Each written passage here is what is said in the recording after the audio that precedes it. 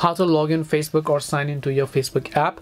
Hi everyone, welcome back to our channel app guide. In today's video, I'll simply guide you on how you can log in or sign into your Facebook app. So make sure to watch the video till the end.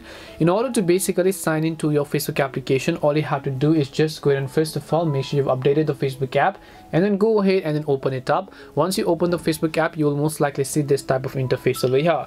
Now, if you have any of the saved accounts, it'll just give you those accounts at the pop-up. And if you want to log in, just tap on the login button over here in order to successfully log into those accounts or else what you could basically do is just tap the log into another account button here. Make sure to enter the mobile number or the email address of your facebook account and then also make sure to enter the password.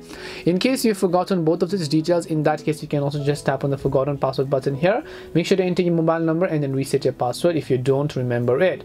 Now or else what you could do is we could just come back over here. You can just select any of the logged in accounts and I'll just tap on login and in here you'll be able to notice that I'll be successfully logged into my Facebook account as you can see right like this and this is it on how you can basically log into your Facebook account. We hope the video was really helpful and if it did help you, make sure to leave a like and subscribe to the channel and if you have got any questions, queries or doubts, feel free to leave them down in the comment section. Thank you very much for watching and see you in the next video.